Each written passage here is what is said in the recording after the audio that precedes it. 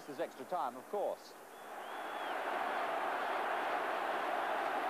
And then it's the lap of honour.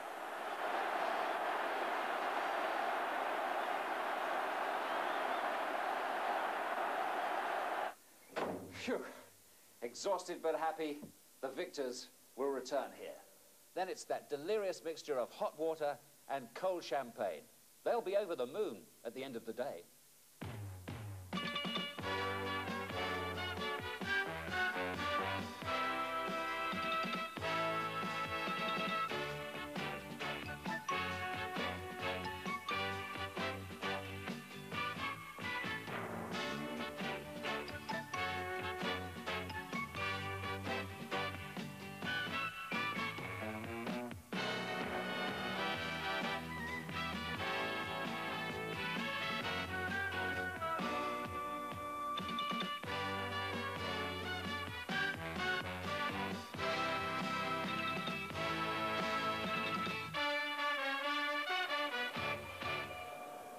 Of all the great events that Wembley plays host to, the FA Cup final remains the most famous. Just short of 100,000 will be here for this 106th final.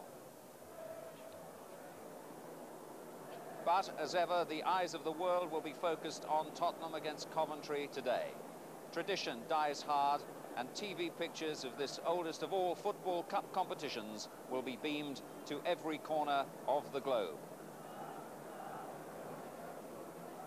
And today, of course, the uh, match involves the club with the perfect final record. Tottenham, seven finals and seven victories, and Coventry making their first ever final appearance in 104 years of trying.